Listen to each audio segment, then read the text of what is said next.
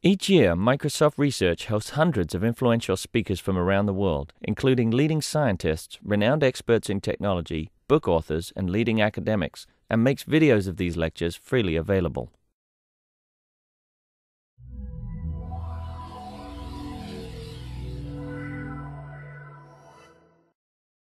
So, uh, good morning. It's a pleasure to have two visitors today, uh, Themis and Stratos, and both of them have, are ex-interns of MSR. Uh, Themis is currently a faculty member at the University of Trento, Italy. Uh, he did his PhD, got his PhD from the University of Toronto. He works broadly in the area of event processing, and uh, uh, he's he's got a Best Paper Award in ICD 2009, and uh, he's going to be the co-general chair of VLDB 2013. So, VLDB 2013 is in Italy, so that's good news for us. Stratos Idreos is from CWI. He got his PhD working with Martin Kersten. And his uh, thesis uh, won the uh, SIGMOD Doctoral Dissertation Award this year. And uh, he's continuing there as a faculty member. And uh, he's going to be talking today about uh, adaptive indexing. And Themis is going to be talking about indexing also, but indexing time series. So. Okay. Uh, thank you very much. Uh, thanks for the in, in, in, in, invitation and for organizing this, Ravi. Uh, so this is uh, work on uh, indexing and mining billion time series, and billion in the particular case of, of time series is, is a big number, since previous works had only considered up to 10, 10 million time series. Uh, so this is joint work with uh, my student Alessandro Camerra from uh, Trento and also Jin Shieh and Eamonn Keogh from the University of California at Riverside.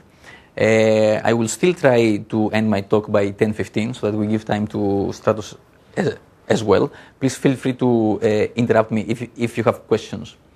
Uh, so this is all about time series. And what is a time series? A time series is just a sequence of data points measured over time. And uh, uh time series are ubiquitous. Uh, so there are time series in uh, in in finance, in any kind of scientific experiment and domain. And uh, we also uh, have time series in some unexpected domains. So, for example, uh, motion capture, uh, uh, gestion uh, recognition in video analysis, as well as time series that dis describe the contour of, of shapes. In this particular case, we can transform the contour of this shape to, to a time series and then use time series techniques to identify similar shapes uh, no matter of uh, the scaling, rotation, etc. of these shapes. Um, so there's a pressing need to index uh, time series data, and the way that uh, the reason that, that, that we want to, to, to, to do this is because uh, it, it is only by indexing them that we can, we we can actually mine this data fast. Um, so the basic uh, um, operation that, that, that, that we want to um, support very fast is uh, the similarity queries in, in, a, in a time series. And this is going to be the, the, the, the focus of, of, of the index that, that I'm going to talk about now.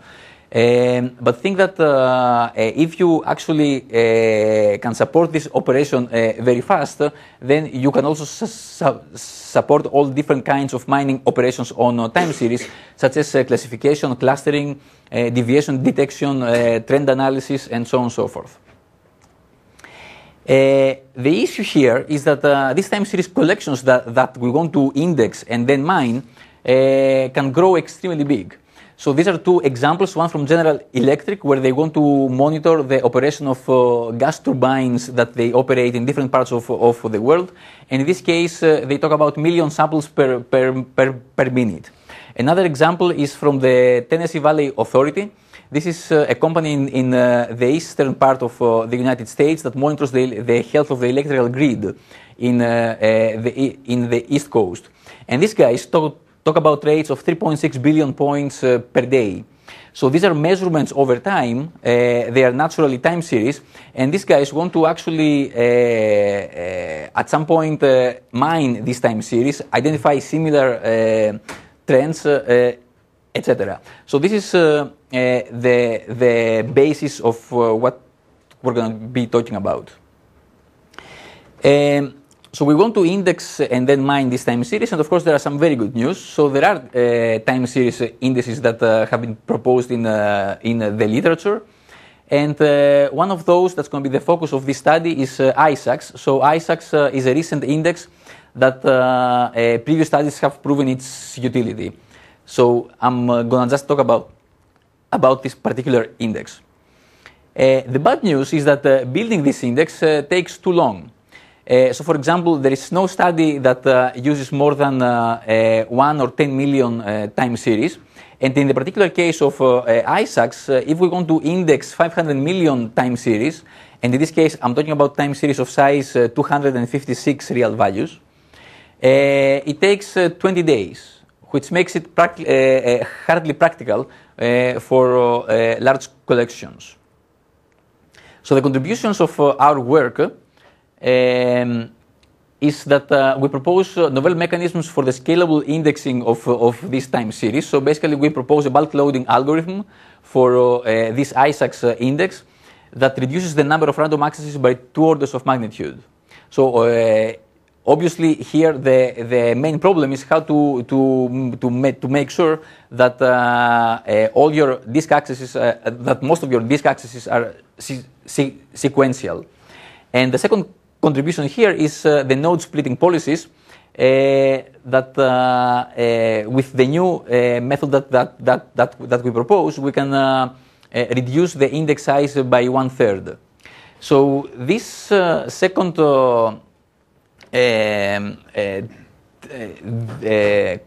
contribution came about because the iSAX index, as I will talk in more de detail later on, is not balanced. Uh, so we have the first experimental evaluation with uh, uh, this kind of uh, size of time series col collection, 1 billion time series, which validates the, the, the, scalability claims. And we also have some case studies in diverse domains in entomology, genome sequences, and web images. And I will just briefly talk about the, the second application, the genome sequences. So a little bit of background on the iSAX. So the iSAX index is uh, based on the iSAX representation uh, or summarization of time series. So if you assume that, that, that we have this uh, time series uh, there with all the blue points, uh, the first step in order to produce the iSAX representation of this time series is to do a, a PAA summarization. So basically, we produce segments of equal length, and each one of these segments uh, has S value the average value of all the points that it contains. Then in the next step, what we do is that uh, we divide uh, the y-axis into different regions. And uh, for every segment that falls uh, in one of these regions, we assign to that segment a, a bitwise representation that encodes that region. So this particular example, we, we, have divided the entire space in four regions, and uh, we need two bits to encode those four regions, right? So any segment that falls in this region is encoded with uh, two bits, one, one. Any segment that falls in this region is encoded with two uh, bits, zero, one, and so on and so forth. Uh, this uh, uh, division of the space is not e equal because uh, um, uh, these time series uh, are normalized, so they have a zero mean and standard deviation of, of, of one. And what we're, we're trying to do is end up with um, an approximately equal number of segments falling into each one of these regions. Okay, so this is the, the, the basis for the representation. And the nice thing with this uh, representation is that uh, we, we, we go from the real value domain to the domain of, of uh, bitwise representation. Thus, we save uh, lots of space. And uh, we can also have a, a representation of uh, some time series with four segments, where each segment has uh, a different cardinality. Right? So we, we, we can have a, a varying level of detail for the representation of each se se segment. And all this is uh, naturally supported by uh, iSAX. Now, whether, uh, how, how does the index look like? it is a tree which is not balanced. And that's what I'm trying to, to show here. And uh, in this tree, uh, we start out uh, by um, a, very coarse uh, uh, representation of, of, the, of the time series. And of course, as we go down the, the index, then we um, then we, we refine this representation. Um, obviously, uh, by using this uh, structure, uh, we can quickly search uh, for similar time series and uh, we prune the, the search space. So, for example, if I search for a time series that uh, has a representation that is somewhere here, so it has this kind of shape, I, will, I will go down this path and I will exclude uh, other paths. So for, so, for example, paths that represent this kind of uh, time series, right? And this is what makes this fast. Uh, of course, we end up with the exact solution in, in this case, right? one imp- important thing here is that uh, with the iSAX index, what we do is that uh, we, uh, we store the entire index in main memory. And this is feasible because we use the bitwise representation uh, for time series in all the internal nodes. And uh, uh, we, in main memory, we only have this bitwise representation for every internal node. For the leaf nodes, these nodes are stored on disk, and uh, apart from the uh, bitwise iSAX representation, they also have to, to, to contain the raw time series all the individual uh, real values. And this because uh, at the very end we have to access the raw time series and uh, discard any false positives from our similarity search queries. So this is a wonderful index, but then the, the question is why it takes so long to, uh, to index large time series collections. And uh, of course, the answer is that um, uh, iSAX implements a naive uh, node splitting policy. Uh, so when it splits a node uh, into two, it may be the case that uh, all the time series of the node will end up in one of the children, right? And this is what we, we try to address. And the most important thing is that it implements no bulk loading strategy. So, so this looks like uh, uh, data reduction followed by uh, two-dimensional indexing. Is that the right? This is not two-dimensional because you may have uh, several segments, right? And and uh, the number of segments, which is the dimensionality, uh, may also be in the order of tens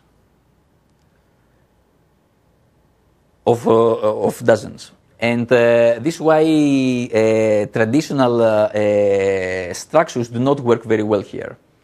Actually, some studies uh, have, have, have shown that in, in certain cases it, it pays off to just do a linear scan. Right?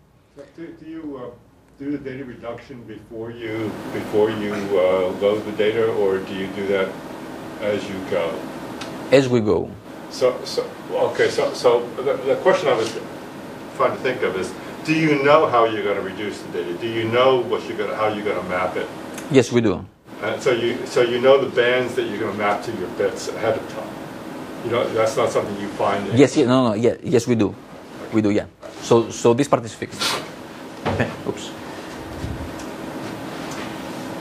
So let me first uh, uh, say a few things about the the, the, the bulk loading algorithm. So the design principles here is that we want to take advantage of all the available main memory and uh, maximize the, the number of, of sequential disk accesses.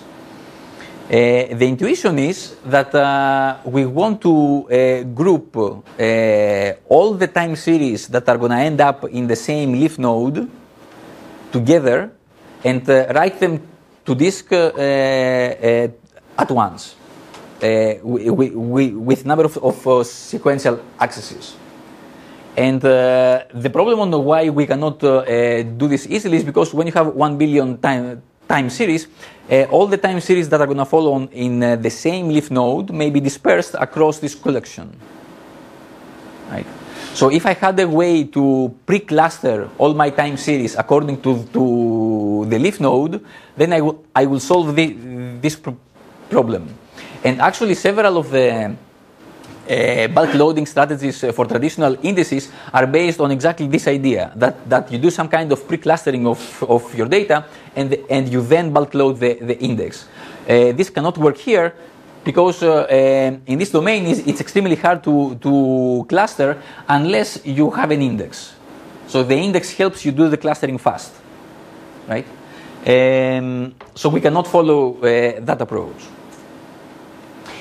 Uh, here is the high-level description of uh, uh, what we propose. So we, we, propose an algorithm that works in two phases.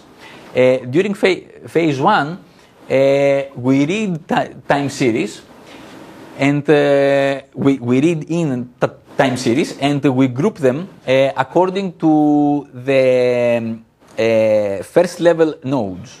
The first-level nodes are the nodes just below the are, are the children of, of, the, of the root. And in this operation, we use uh, uh, the entire available main memory. When we have exhausted the, the, the, main memory, then we switch to, to phase two.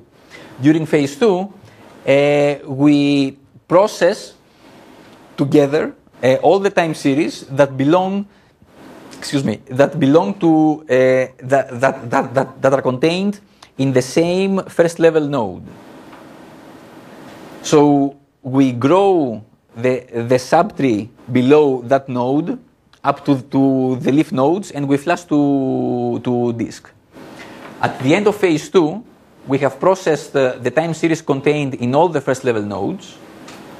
We have flashed them all to, to disk. We have freed up all the main memory, uh, apart from the main memory used for, uh, by the index, which is a small portion. And we go back to phase one. So let me show you how this uh, uh, uh, looks like. So this is the root node, and these are the first level nodes, children of the root, which have not been uh, materialized in main memory yet, right? And this is why they are dashed. so we, we introduce this first buffer layer, which is a, layer of, of, of, buffers, we have one buffer connected to each one of these first level uh, nodes. Uh, these buffers uh, do not have a fixed size, so uh, they grow as needed uh, according to how many time, time, time series are routed to each one of these nodes. So what happens is that uh, when time series come in, we uh, just uh, route them to the corresponding node. Instead of inserting them in uh, the actual node, which in, the, in this case would be a leaf node, we, we just in, in, insert them in the buffer. Uh, when we have used up all the memory, then we go to phase two. In, in, uh, in phase two, uh, we have this leaf buffer layer, which is another layer of, of, of, of, of buffers and in this case, uh, each buffer corresponds to each one of the leaf nodes in the tree. And uh, the size uh, uh of its leaf buffer of, of each leaf buffer is, is the same as the size that the leaf node has. So it contains, for example, 1,000 time series, right?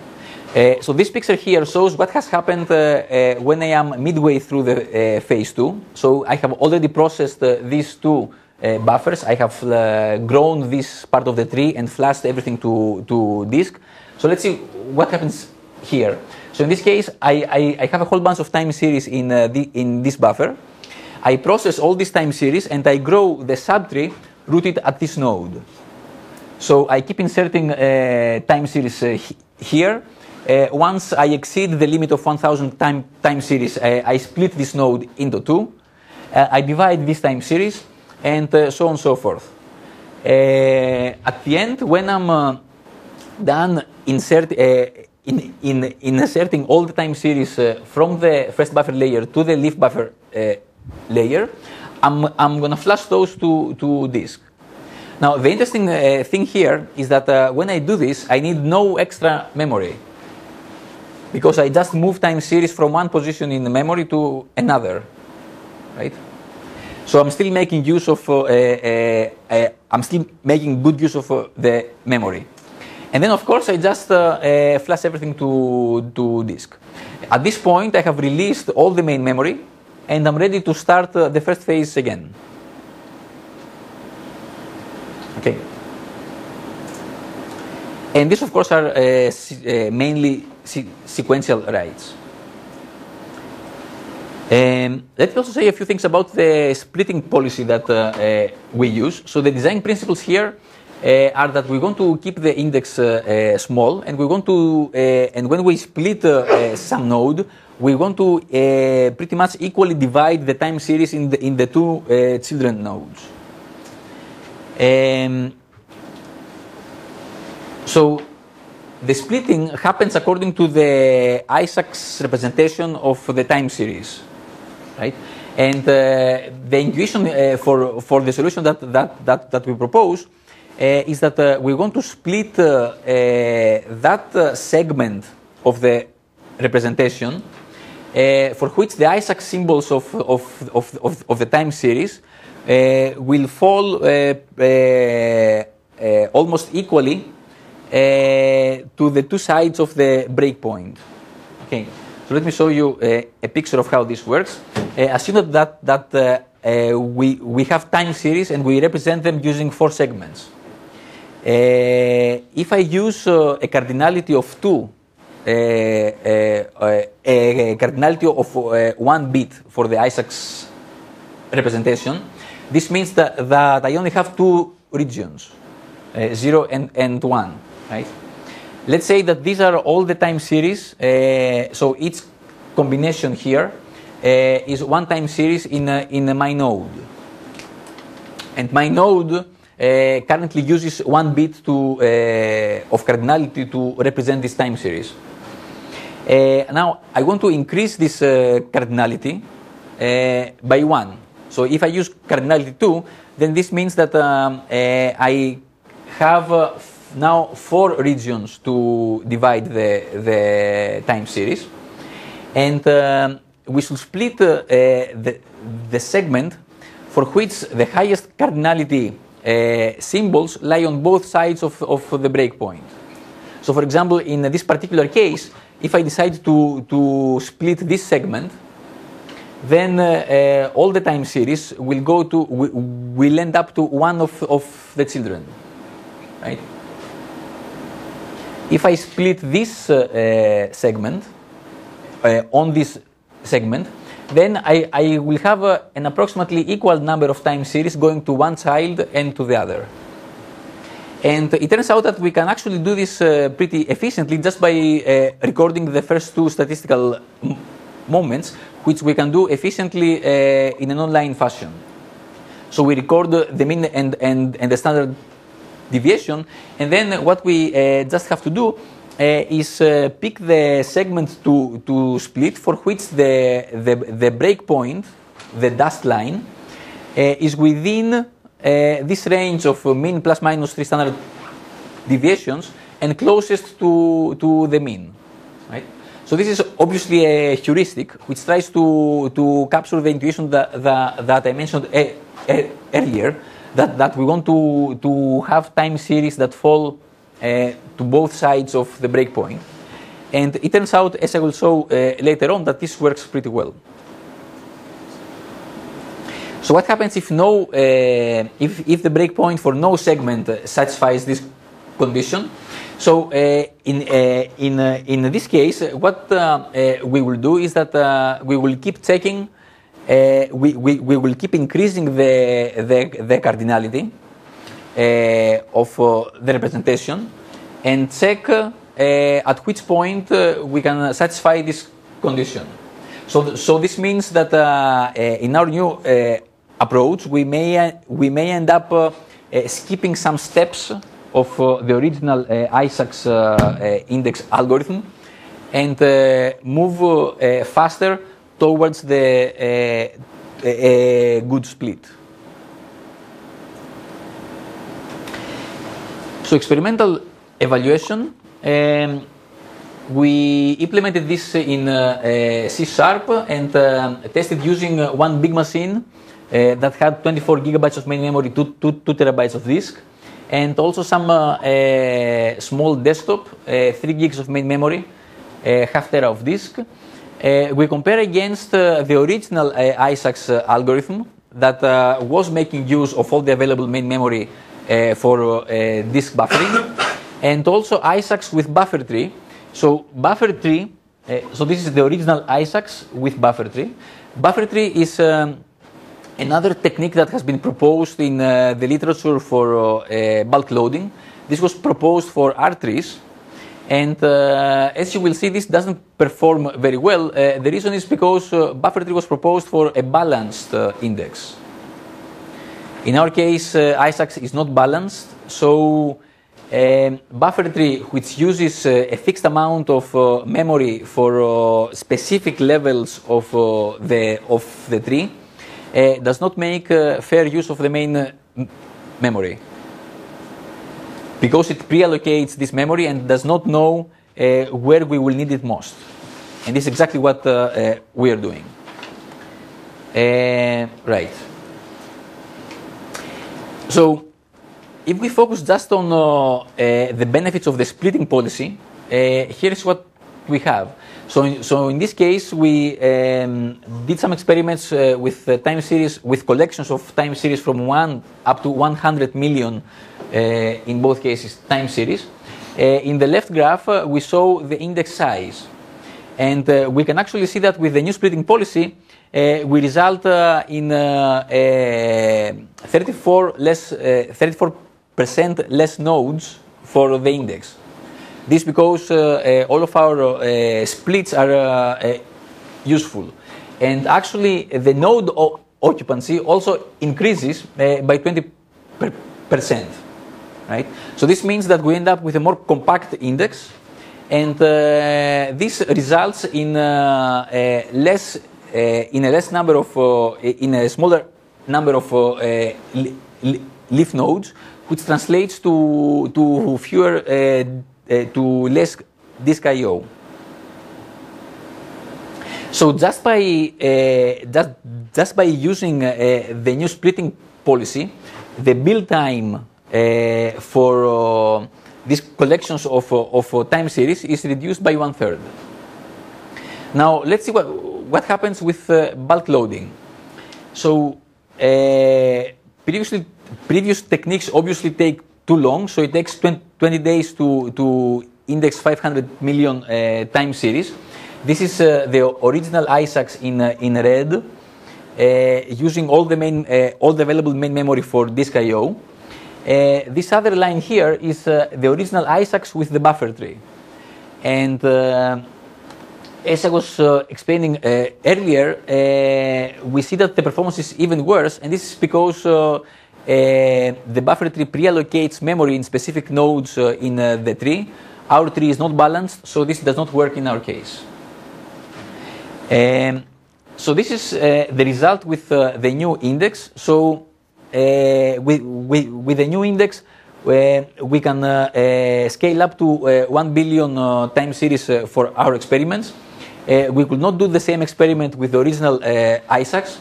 In this case, we estimate that it, it, it will have taken uh, approximately two months to uh, index all these time series. In our case, we finished the job in 16 days, which is 72% less time. And this translates to um, a time of uh, indexing per time series of uh, approximately one millisecond.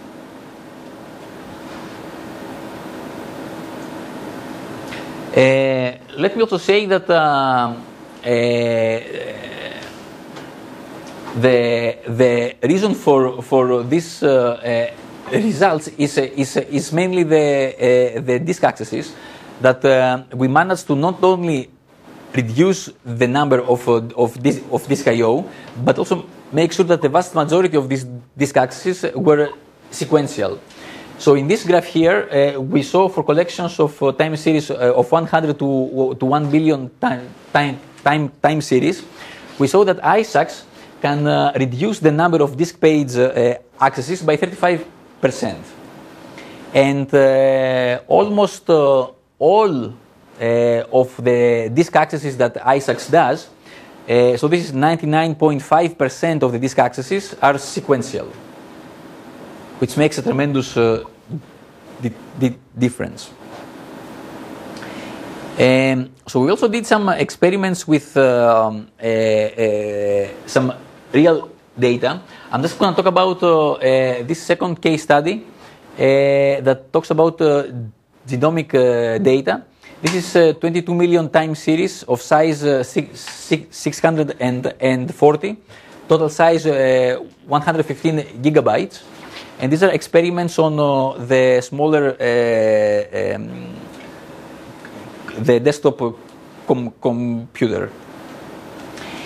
Uh, in this experiment, we wanted to identify mappings between the chromosomes of two different species, the human and Rhesus macaque. So Rhesus macaque is a species of, of, of monkey that is relevant to, to human. Biologists are very interested in, in uh, these mappings exactly because uh, these two species are uh, uh, so close to each other. The problem with these mappings is that these two species have a different number of chromosomes. So these mappings are, are not obvious. Uh, so what we did is that uh, we translated these DNA sequences. Uh, we we translate the, the, the genome sequences in in a time series by chopping them up in a small time series of size 640 uh, of overlapping time series of size 640. And uh, then what we want, uh, wanted to do was uh, uh, try to see if uh, the same or similar time series occur in the chromosomes of these two different species. And we end up with this kind of picture that uh, basically shows what is uh, uh, the mapping between the human chromosomes and the monkey chromosomes. So each line here uh, shows one possible such, uh, such mapping. So a mapping is uh, a subregion of a monkey chromosome which is the same, which is similar to a subregion in some human chromosome. And it's interesting to, to see here that in, in some cases, we, we have regions of, of the same chromosome of one species mapped to two different to uh, subregions in two different chromosomes or in the other species. Uh, so here we're not basically claiming that uh, we have solved some biological uh, uh problem, but the claim is that uh, we can help biologists uh, do their research in this particular domain. So, for example, this picture shows the mappings that have already been verified by biologists in their experiments. And if you observe these two uh, the mappings that, that the biologists have identified are a subset of uh, the mappings produced automatically by our approach. Once again, we're not claiming that we have solved this problem, but uh, we can claim that uh, uh, Eh, we can direct uh, scientists in the interesting parts eh, in, in their data, so, so, so that they can very quickly focus on what is highly probable mapping in this case. I'm going to skip this. So, uh, well, once again, uh, one of the uh, take home messages here is that uh, this is the first approach that can uh, scale to such, to such large time series collections, 1 billion time series. And what we're trying to do here is uh, enable uh, uh, practitioners and, and scientists the pain-free analysis of their existing dataset co collections. Uh, actually, we have some. Uh, uh, we we are working on the on the on, on some improvements of our technique, and our experiments show that we can get a further 40% reduction in the total build time. So this would mean uh, uh, an index time, time per time series of, of, of, of, approximately half millisecond. I would like to conclude with uh, this thought. So what, what, what, what next? Uh, we think that the next challenge will be to uh, index uh, 10 billion time series. And let me just stress that this is not a matter of chasing numbers. Uh, these are, uh, this is all about enabling people to uh, actually uh, analyze the, the, data that they already have. So we're working with some uh, neurobiologists. So these guys have these big machines, and they do functional magnetic resonance Im- imaging. So a person gets in there and uh, they analyze uh, the, the brain. Whenever there is a stimuli to, to the subject, then uh, uh, this machine produces an image that shows how the subject responds to, to that stimuli. Well, a single experiment, which means one subject and a single test, produces uh, 12 gigs of data, 60,000 time series. 60,000 are the number of uh, points in the brain that we can talk about right? So uh, we, we, we, we can in, individually focus uh, on each one of these 60,000 uh, points of length 3,000. And what's even more interesting is that right now there is one com com competition. There is a classification task to detect uh, uh, based on this kind of data, whether a subject suffers or not from uh, ADHD.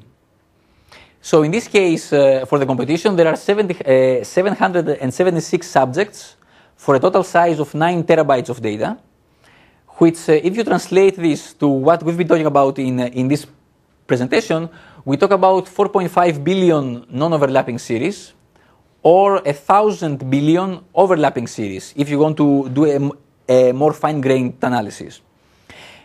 Uh, what these people have been doing so far is that um, they are uh, reducing uh, each one of these 60,000 time series to a single number and then trying to do the classification. And obviously, there is uh, uh, much more worth in, in their data than that. So, this is the point that, that, that, that, that I'm stressing that, that we need to help them uh, use all their data. Uh, of course, I agree that uh, parallelization helps, and there's a lot of room in, in doing that here. Actually, what we, we, we proposed is amenable to, parallel, to parallel, parallelization.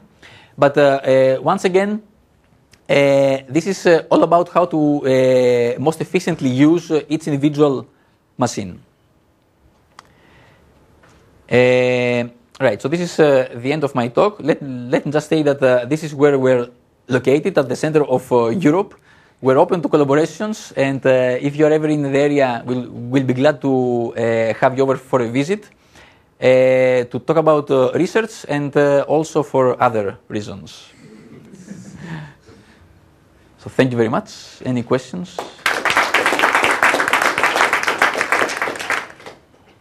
About scaling this out? So you mean to multiple machines? Of course. Yeah, we haven't looked at that yet, but uh, uh, what we've been talking about uh, is amenable to parallelization. So for I don't see. Is there any technical problem? You just partition up the you just partition up the stream and you build indices on multiple machines and then merge them at the end, or or, or you what? just do fan out queries at the end. What I was thinking, uh, yeah, well, this talks about uh, uh, the index build part yeah. right? Uh, so uh, what I was thinking uh, about was to parallelize the first level of the index. So you have a different machine cope with each one of the first level nodes and their, and, and their subtree. Uh, I haven't. Uh, we we haven't really worked on that uh, yet, but this is a very interesting direction, for sure to what extent does your, the efficiency of your approach depend upon uh, the partitioning being reasonably even, reasonably uniform? Um, do you require, or do you depend upon in some way, so you had sort of a preliminary index built in to use to help you with the subsequent partitioning. Are you depending upon the fact that that's a good sample of what the data is? Uh, and what happens if the data is skewed in a different way than that, that sample? Right. So, so this is exactly uh, why using iSAX with buffer tree uh, suffered. Because basically this, this approach uh, as, uh, assumes a uniform partitioning of the data, which is not true uh, in real life, and that's why it doesn't perform well. in our approach, we make no such assumption, and it doesn't matter what the partitioning is or the skew of the data. So this has no effect whatsoever. As I said, at, when I was de de describing the algorithm, uh, we don't have a fixed amount of memory assigned uh, to each buffer in the first level, right? So these buffers grow as needed according to what data you uh, come in.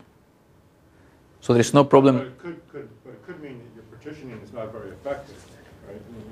It could mean that you have a whole bunch of of, of, partitions where modest amounts of data go and then an enormous amount of data goes sure. into all one, sure. one partition, There's which no case your partitioning wouldn't have done you much good, right? Well, uh, uh, this will not affect uh, the index build time, right? This may affect uh, uh, searching, right? And then the question is whether the, this particular index or, uh, well, this is not the, the right question, whether the particular parameters uh, used uh, for this index are appropriate or, or not for a particular da- data set. But this doesn't affect what I have presented here. So uh, a large fraction of time series that you typically index may be overlapping time series, right? So uh, there's a lot of overlap between the individual right. time series. Right. So uh, have you thought about taking advantage of this in some way to improve performance? Because there's so much commonality between these. Right, right. this is a very good question. Uh, so, so this uh, uh, goes back to whether you, you, you can actually cluster or not your time series to start with. But this will assume that uh, you have actually done or you know how to do such clustering. And in our case, we don't assume that, that we know that. So we don't assume that all the overlapping ones are uh, together, right? Uh, also, another thing is that even if you do know, this overlap only has a, only has a limited uh, advantage because after, after a, very while, a, very short uh, um, time, you end up having time series uh, that are significantly different from each other. Right? Okay, thank you very much. So we'll be meeting in 1535. So any further questions?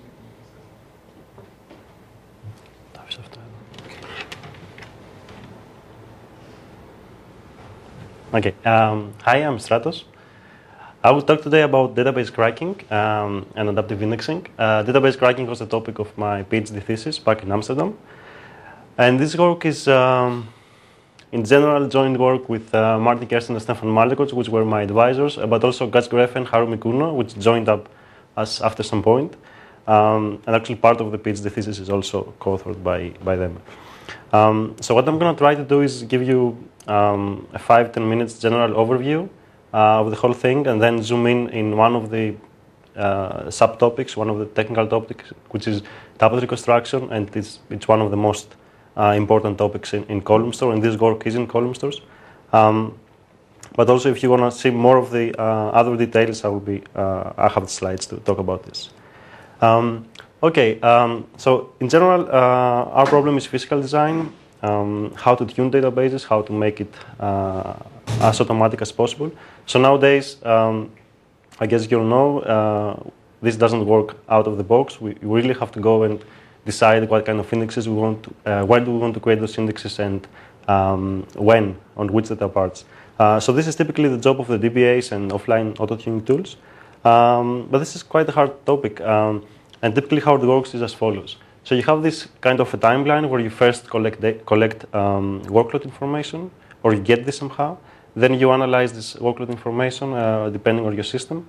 Um, and then you go ahead and you actually create the physical design. So this takes, uh, this takes quite some time, and only after this whole thing is finished, only then you can process queries. So our goal here is to uh, basically um, try to make this much faster. Uh, so the question is what happens with dynamic workloads where you can really break this timeline, right? Um, you might not have all the knowledge, you might not have all the time to do this. And what happens with very large databases, like scientific databases, for example? So um, in scientific databases where you have terabytes of data coming on a daily basis, especially uh, we expect this in the future, then making a possibly wrong choice about creating an index this can be uh, a big a big cost because it takes so much time to create indices.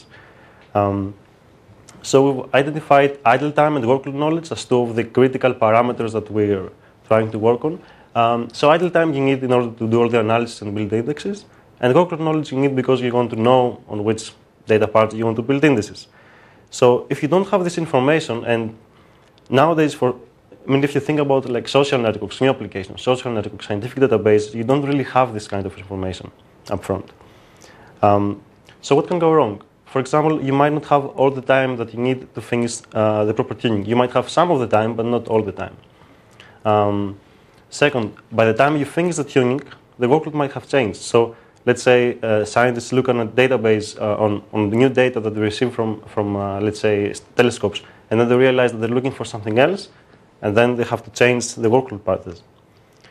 Um, still, if none of this is true, there's no indexing support during the tuning phase. Okay, so you have to rely if you really want to query your data and wait also for indexing. In the meantime, you have to rely on, on very plain performance, rely on scans. Um, another part is that currently our indexing technology does not allow to focus on, on specific data parts. You still have to index um, whole columns. You can, you can select columns, but you, you cannot select parts of columns. Okay? So database cracking has the vision of, of basically removing all physical design steps and still getting the sim similar performance without of a fully tuned system. And then you don't need DBAs. Uh, and the way that we found out that we can approach this goal um, is that we go deep inside the kernel and try to do that. So we started designing new database kernels, which we call auto-tuning database kernels, and that involves really starting from scratch. You have to think about operators, new algorithms, new access structures, new query plans, new optimizer policies, everything from scratch.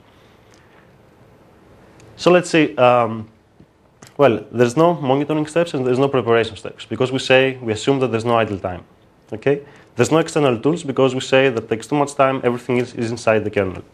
There's no full indexes because we don't want to index parts that we're not interested in, so we selectively index small parts of the data. And there's no human involvement because, again, everything is automatic inside the kernel. So what we do is continuous on the fly physical reorganization. So um, continuously, as the data arrives, continuously as the queries arrive, we continuously reorganize the data. And you can think of this as partial incremental adaptive indexing.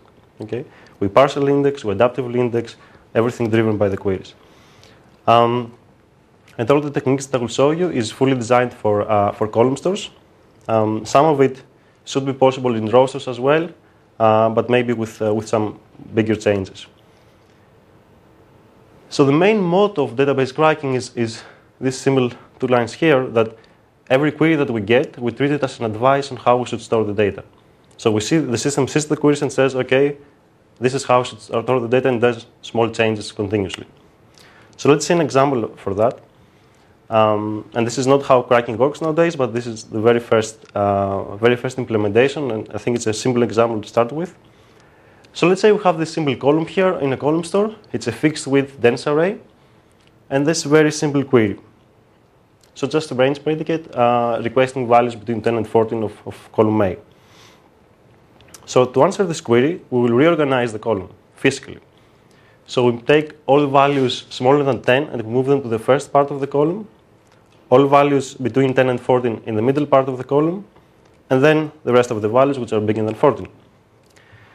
So now you see that we created some sort of range partitioning in there. Um, and as far as this query is concerned, we create, we collected all result values in a contiguous area. Okay, so we can say, well, there it is, we just answered the query. Uh, but more crucially, we gained some knowledge that we can exploit in the future because there's some range partitioning in there. Now, um, the important thing for database cracking is that this is not something that happened after we process the query, but this is how we process the query. So this is the very first select operator that we actually created um, for, for the cracking kernel. So the select operator has uh, is a simple procedure that takes a input column and the range predicate and then returns the column back reorganized, where, but everything, all the, all the uh, values inside the rates are collected in a contiguous area. And then, um, since this happens in bulk processing column stores, you give this to the next operator and say, well, between this and that position in the array, you have the qualifying values and you can go ahead with the rest of the query plan. So now if you get in a second query, again, this is a very simple query, so basically it's just one operator query. You, you only have a select operator. Um, now we have a different predicate on uh, a different range request, on a, but on the same column. So now we can exploit the, uh, the range partitioning in there.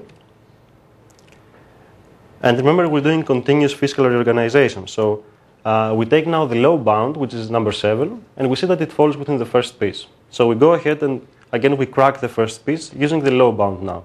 So we take sm values smaller than seven, values bigger than seven, and we crack it into new pieces. Then we go to the middle piece and we realize that, well, this qualifies completely, so we don't do anything with that. And now we're gaining some, some speed because we don't touch this piece. And then we go to the next piece and see that, well, this is where the, uh, the uh, high bound falls in. And again, since it's not an exact match, we don't have an exact piece on this uh, value before. Now we crack this on, on value 16 and we create two new pieces. And the result is the same as before. We just collected all values in a contiguous area.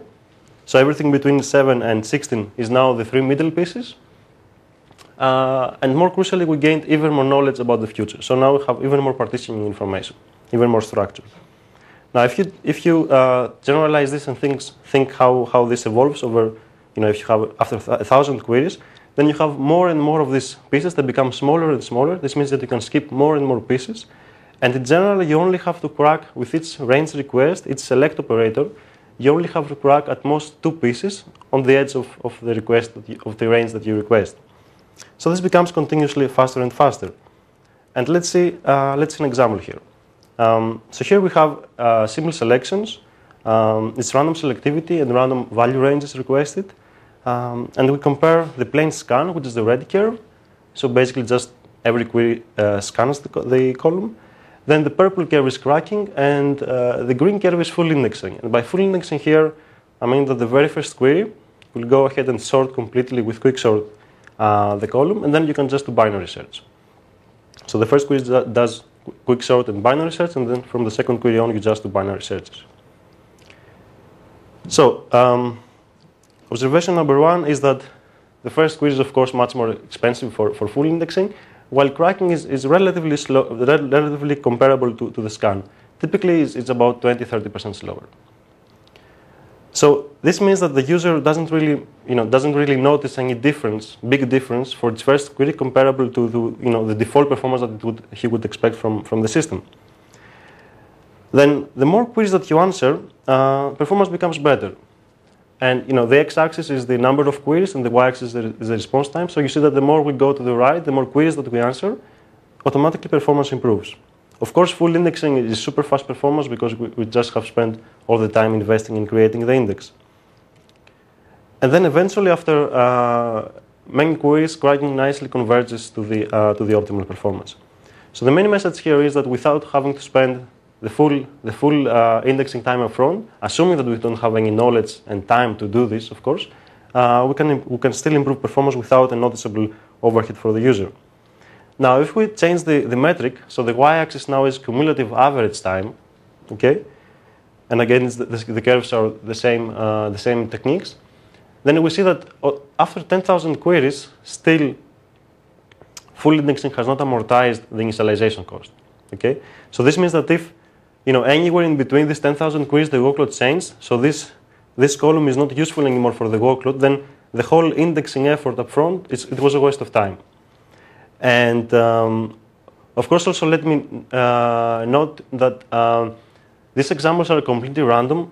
I mean, we really assume here that the users are interested in the whole space of the column, the whole value range, which might not be the case, right? If you have a skewed workload, and I will show you such a case uh, later on with TPCH, then performance for cracking will improve basically instantly.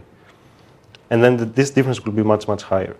Um, okay, so uh, I have two slides now for the uh, basically what we did over the years with database cracking, and then I will zoom in in one of the uh, sub-problems.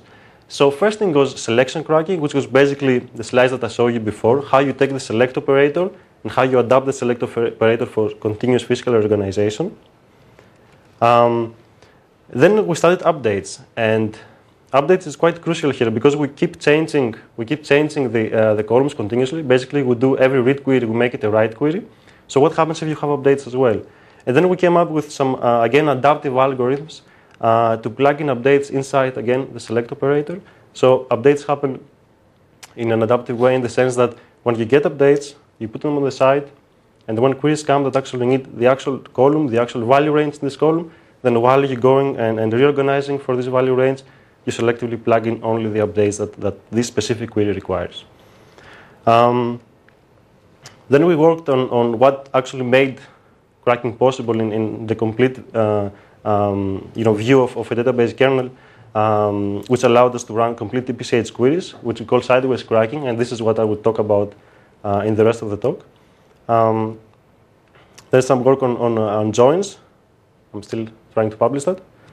Um, and our latest work on, on uh, adaptive indexing, which is, um, which is basically uh, think about this as uh, doing partitioned cracking, uh, trying to do several optimizations to, to fit this also in the disk and, and play around with uh, how much initialization cost and how much fast convergence you can have and what's the balance between, between these kind of things.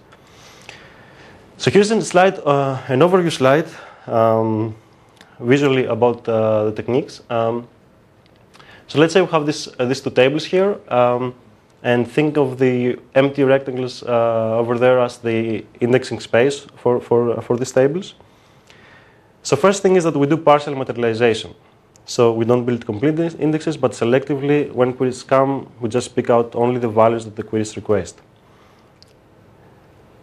So we, we create these small pieces over the, um, over the tables, and we also index those pieces. And we continuously reorganize data inside these pieces and keeping up this information. Uh, but and when when uh, when we run out of storage, we have a storage threshold. Then we can just selectively drop those pieces using LRU and create new ones. And then we want to use when we want to use two columns on the same query plan, then we have to make that, sure that these columns are aligned. So we don't do tuple reconstruction, which is the uh, practically the most expensive operation in the column store. So when we want to use two columns together in a query plan, we don't try to do an expressive join.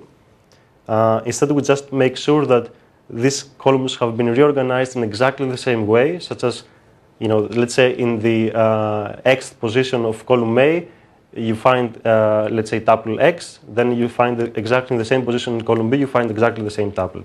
And if you reorganize the columns in exactly the same way, then you can make sure this is, uh, this is true. Uh, when pieces become small, uh, to fit in the cache, we sort them um, which helps for administration, for concurrency control, for various issues. Um, and when we have queries across tables, then we can use this kind of information for, for, for efficient joins. Okay, so I will, I will go on now talk about tuple reconstruction and, and, and uh, why is this important both for cracking and for column stores. So this is typically how, how a column store looks like. You have, you have arrays, fixed width dense arrays. Um, you have positional information which is implied. So you know that in the first position, let's say of column A, uh, you find the first tuple, the value of A for the first tuple, and in the first position of column B, you will find the value of B for the same tuple, and so on. And this symbol um, function here gives you uh, information about how to how to browse there. So on, the only thing that you need is that the, the, starting point of the array and the data size of the array, and that you can quickly jump into the proper position if you're looking for a specific value. Now this is how typical query browsing happens in a column store. So we have this uh, query here with two selections and one aggregation. Um, so we bring the first column in memory, we do uh, a quick selection, and then the result is a set of qualifying IDs, right? And these are the positions of the uh, values that qualified, okay? So we materialize, this is bulk processing, so we materialize this, this set of IDs. And now we're going to do a tuple reconstruction action. So using these IDs, we go and fetch the qualifying B values. Okay? This is what we call late tuple reconstruction. And then, use, and then we have the B values, we can run the second selection, and then we have to do another tuple reconstruction action because we need the C value, the C column. Okay? And then we can do our aggregation. So this, these little tuple reconstruction actions, they happen very often in query plans and you have to be very efficient about it. And column stores are efficient about it by, by making sure that you can do basically always sequential or skip sequential accesses by having ordered IDs for intermediate results. So, um, so it looks a little bit like this. So on the top of the slide, you see uh, a set of row IDs. You can think of this as an intermediate result, and this is ordered. So once this is ordered, you can do a skip sequential access, which can be efficient. Uh, if it's not ordered, and that can happen after operators like uh, join and group by, um, then you have to do random access. Of course, no one does random access. What you do is you just sort this, this uh, intermediate result, and then you do, uh, again, skip sequential access. Now, for cracking, the thing is that uh, even after selections, because we have reorganized the data, okay, uh, then we, uh, this, this row ID result is again um, unordered. So we gain a lot of time, we have a lot of benefit in the selection, but then when we go to tuple reconstruction, especially if you have more and more columns in, in a query plan, then this, uh, this row ID uh, being unordered becomes a problem. And this is uh, an example of that. Um, so here we run a, a, more complicated query than the ones I was showing you before. So here we have a, a few selections on, on, on, two different tables, and we have a join and multiple aggregations here. So we're using quite some columns. Um, here the, the leftmost graph is total times, and then the, uh, the two other graphs, basically they split the tuple reconstruction time before and after the join.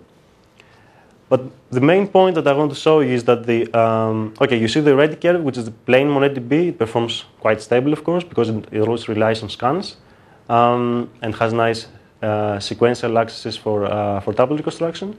Um, then you see this, this, this green curve here. So you see that it nicely improves at first. So you get the first quiz and it improves, but then as you make the order more and random, because you continuously reorganize the, the initial columns, then you suddenly have more and more random access patterns, and then performance becomes even worse than the initial MonetDB performance. Um, and this, then this blue curve is sideways cracking, which um, modulo some initialization cost, it, it solves this problem. Um, and this, and I will talk about this technique now. Uh, and this purple curve here, this is the, the uh, let's say, the perfect performance that you can get in the column store. Um, so if you, if you know from, from C-Store, uh, the column projections, which is that you take, you take a copy of a, of a table, you completely sort based on, on one column, and then you propagate the, this sort order on the rest of the columns, and basically you have a perfect index. Um, but that purely depends on, on, on, on the quiz, on the workload. So if you have prepared that up front, then performance can be very fast because you rely on binary searches. Um, in this case, for example, it takes 12 seconds to prepare this index, but then it's, it's, uh, it's super fast. Um, so let's see how this sideways cracking uh, deal works. Um, so again, I'm, I'm going to run a similar example than, than the initial one. Um, so we have these two columns. And uh, this query here that refers to two columns instead of just one. So selection on one column, and then you need to do a second uh, projection. So the difference here is that we create now we don't work on one column at a time, but we work on two columns at a time. So we call this cracker map, something that maps from column A to column B. Um, and we do exactly the same, uh, exactly the same organization as before. So we create this sort of range partitioning depending on how queries arrive. But now we work on two columns. So basically, uh, we, we reorganize based on the head column, which the head column is, in this case is uh, attribute A, which is the selection column, where the selection uh, refers to. And the tail column, which is the projection column, follows this order. Okay?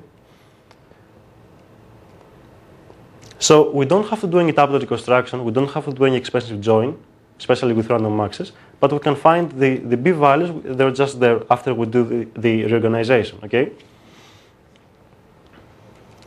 And this it's exactly the same as before. So uh, another query comes on different uh, requests in different range, and we keep reorganizing this thing, and we keep uh, carrying the tail values as well, so we get them for free uh, on the tail of these uh, cracking maps.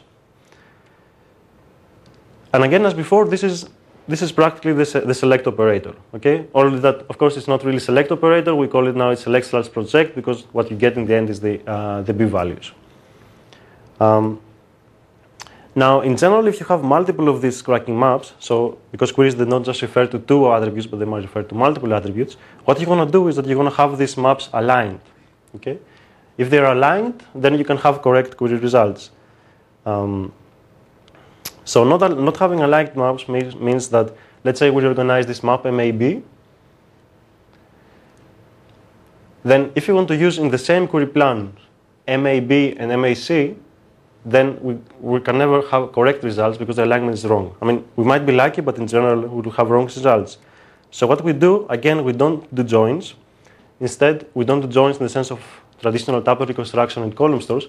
Instead, what we do is that we keep a history for each map where we, we mark what kind of um, reorganization actions we have to play on this map to make sure that it is aligned with the, with the rest of the maps. Uh, so practically, there, there's a central history of, of, of, cracking actions per, per map set. Uh, and the map set is all the maps who have the same uh, head column, so they have been reorganized in, uh, um, from the same column. And then uh, each map has, has a point in this, in this history, and what we have to do is replay this, this history at the proper time on demand to make sure that uh, two maps or more maps are aligned. So basically, in this case, we will run, we will do exactly the same reorganization as we did in MAB. We will do it in MAC, and maybe in the rest of the maps as well, if we need them the, for the same query plan, and then everything is aligned. Now, I'm, I'm going to show you a more detailed example for that. So let's say we have uh, these three columns here, and we run a simple query on uh, that requests uh, attributes A and B. Okay, so this is the first query. So we go ahead and create this map MAB, and we crack it based on this uh, first range predicate. Then another query comes. Now it's uh, again on AB, but but uh, slightly different range request. So we do again the, um, oh no, so this, this was, okay, I was confused. The second one, this here, is MAC. So we create, we create a different map, MAC, and we crack it again independently. And then another query comes which requests both uh, B and C on the same query plan. Okay, again a selection on A, but now requests both B and C. So um, we can use maps MAB and MAC to do that, and if we and independently they create correct results, but once we try to merge the result together, then the alignment is wrong. So this is what it would produce, and you see that basically the result contains uh, slightly out of order uh, tuples. So the first tuple says B4 C6, which is not correct. So the the value, the information there is correct, but the, but it's not in the proper order. So you can think of uh, of doing things like plugging some extra columns with some IDs and positions and then doing some reordering, but that turns out to be too expensive. Um, so what we do is that this trick that I was talking before about, uh, which is that we try to um, align adaptively this, this, uh, these maps. Um, now, another approach that one could think of is that, well, the first time that you, uh, you do, let's say, MAB, you also do MAC. Okay? And then everything will be fine. Um, but then that's completely out of the you know, mentality and motivation of, of using a column store in the first place because um, the first query, for example, requests uh, and wants to load only A and B. Now, if you go ahead and use also and load also C and D and whatever other columns this this query uh, this this table refers to, uh, then you're defeating the purpose of using a column store and having you know better IOs and things like that. So our solution is that we have this, this history, these tapes I was talking about, and trying to adaptively um, replay cracking actions across maps. And let's see how this works. So now this is exactly the same example as before, uh, but it has some extra steps. So first extra step is that when we run the first query, before we do uh, this step that we did normally, we first run this, we do this operation. And this operation is basically cracking MAC, but using the predicate of the first query. Okay? And then we can do uh, the predicate of the, second query. So actually this, this action is not, is not used for this query now, but it will be useful for the second query if we want to have things aligned. Okay? So when we go to the next query, this is the extra step now. So before, before doing um, this step, that we normally do. We first run, uh, you will use MAB, but we use, we crack it based on the predicate of the second query first. And then both maps have been cracked with the same predicates in the same order. So when we reach this state here, MAB has been cracked first with small a smaller than 3, okay, and then a smaller than 5, and then MAC has been cracked first with A smaller than 3, and then A smaller than 5. So they have been cracked with exactly the same range predicates and exactly the same order. So they are aligned. That they have tuple alignment. And then we can go ahead and apply the current query predicate, the third query predicate, and then we get the, the correct alignment for the result. So uh, aligning uh, does not affect the performance of selections on single columns. No. Um, well, in this case, you have to do some extra work, right, to ensure alignment. But I, I will show you the, how we can, we can minimize that. Basically, you always have to replay the tape if you are a bit, uh, let's say, uh, in the past, and the history is, is 10 queries, uh, you have run another 10 queries on another column, you have to replay these 10 queries on, on the column that you're using now. That's the only way to ensure alignment. I mean, other ways, um, but we haven't really played with, is that you can create copies, multiple copies, and you have, you have multiple um, synchronization points in there. But that needs some extra storage. So is, is that the only, let's say you don't want to align it, can you sort it? Is there a, another way of, uh, You can. Um, is there a cost-based version of this? Let's say you have to catch up on too many queries. mhm. Will you ever decide, your system decide not to align? And is there even a feasible query plan that does not align? Or Uh, no, I see what you're saying. No, the, we don't have this option now. So we, al- we always do this kind of trick. We just make sure, that, and I will show you later how to do this more efficiently. Because if, if indeed the, uh, the history is too big, then you can have you know, a big cost trying to align your curriculum. Uh, but there, there, there are ways to, to minimize that, but no, we don't have a choice in how to do it. Do you ever do the normal thing of, um, or the, what the, say the historical thing, which is just uh, sort the sort the record IDs with the data? Yeah, yeah. Uh, but this is this is more expensive. This is more so so we we've, we've tried that also sorting and also radix clustering because radix clustering is is cheaper than sorting and still you get nice access patterns, uh, but still that's that's more expensive. So there are, there are comparisons about this in, in this segment online paper. Um, okay, uh, so let me now show you how you do how you process queries with when you have multiple selections. So naturally, for multiple selections, you could think of uh, creating wider, wider maps. Uh, but then there's too many combinations of that. So what we ended up doing is that using these single map sets, which means that we have only these binary maps with the same leading column, um, and using bit vectors to, to organize things. So let's, let's run again an example. We'll look at by example. We have these four columns here, and this query that does, um, what is it, uh, three selections and one projection. Okay. So the first part, the first operator, will create uh, map MAB, and it will use the um, the range request on A on column A to crack this map. So you reorganize this map based on, on, on A, and this is this reorganization. Okay, so this is what the A requested in the middle, um, and then you have the tail on the tail the B values and you can scan and filter out what, which B values qualify. And then you create a bit vector which maps exactly this area, okay, and, and points on the, on the qualifying B values. So the extra step here is that we, we have to scan the, uh, the, the, the tail for this particular area and create the bit vector. Then the second operator will create map MAC if it doesn't exist. Um, and then first thing that it will do, it will, it will again run the A predicate to crack this map. So again, you create this area here based on the predicate of A. And then this bit vector here exactly shows which C values qualify from A and B. Okay?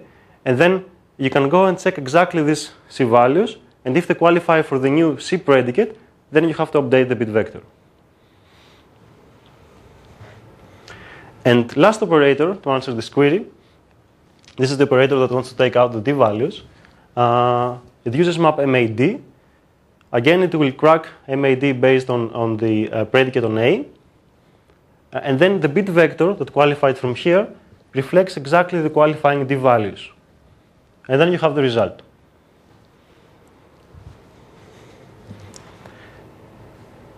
Okay?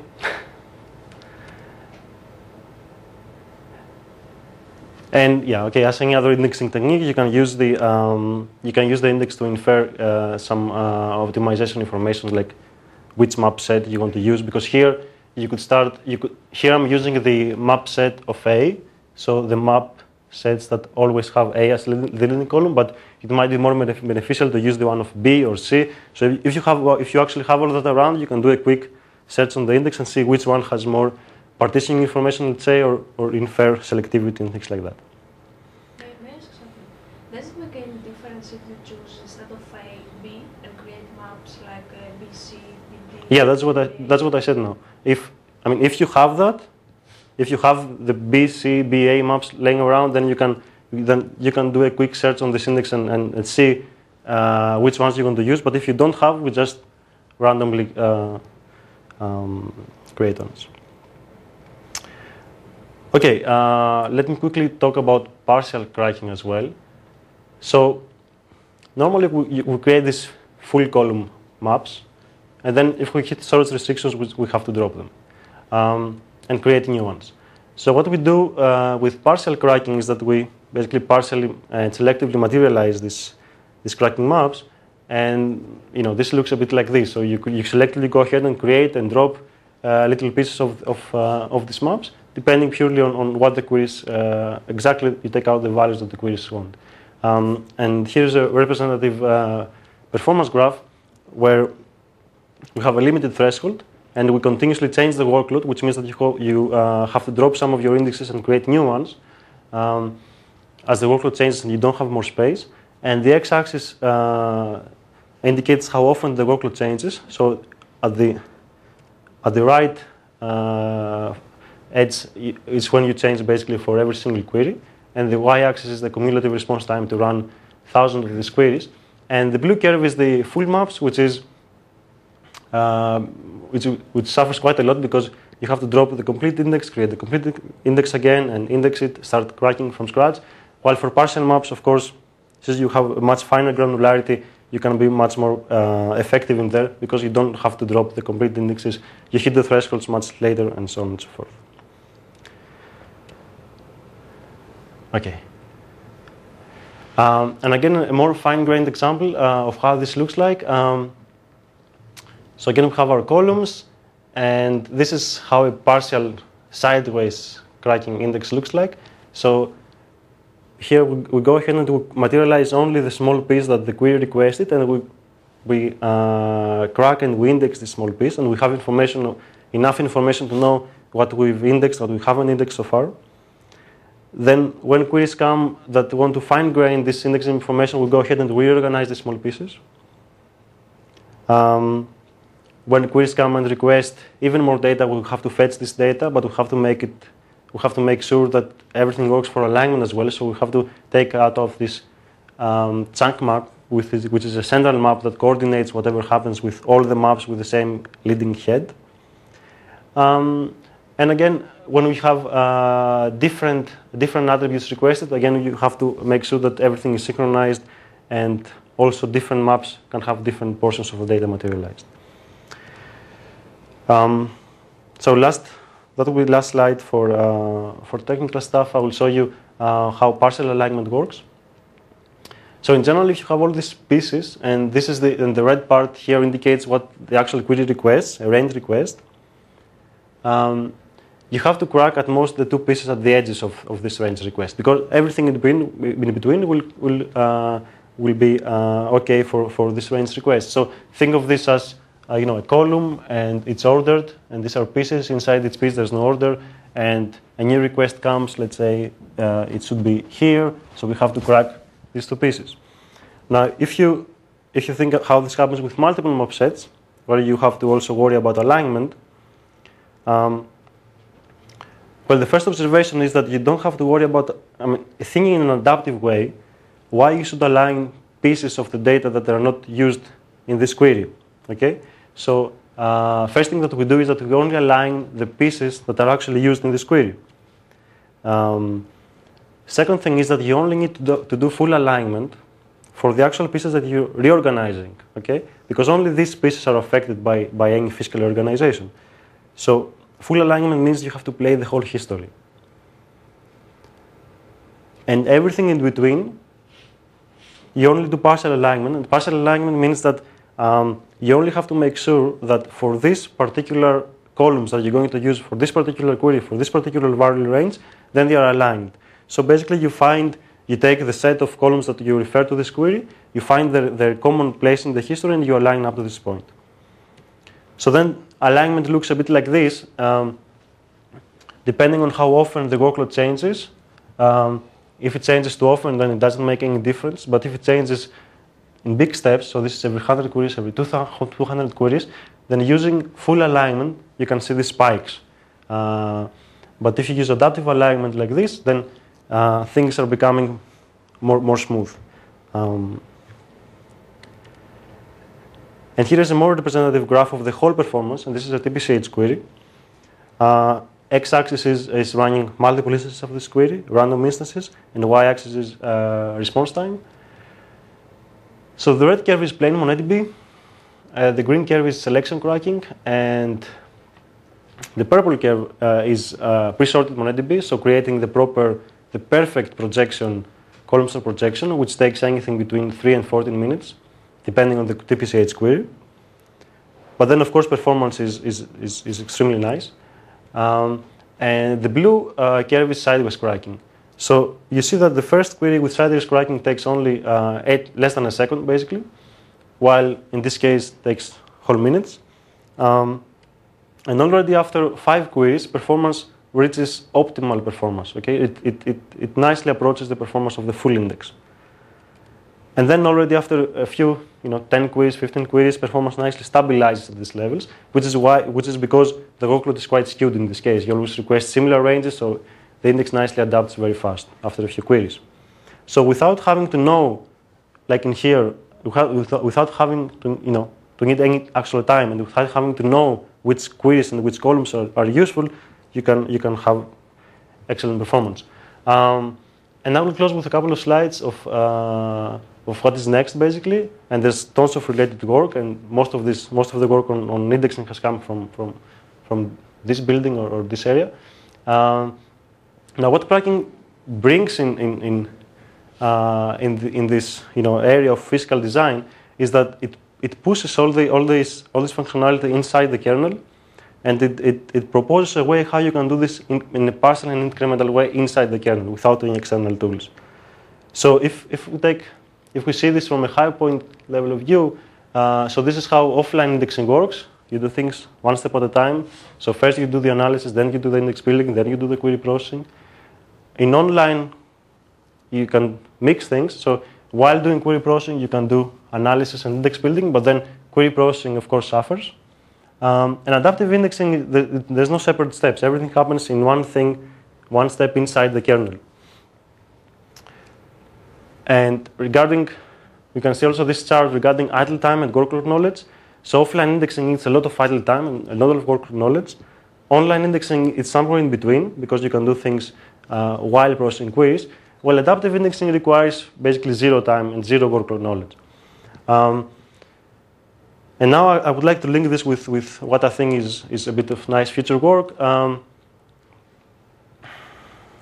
basically, uh, I don't, I'm not claiming that, that cracking is the, uh, the ultimate solution, but, but using all, this, all these techniques and all the capabilities that you get from each, each one of these techniques, you might be able to create a system that you know it exploits every single bit of idle time that you have. It exploits every single bit of, of workload knowledge that, that you have, either that you create or, or get this knowledge offline or online, but also does things partially inside the kernel and adaptively, such as that it doesn't impose any overhead at query time.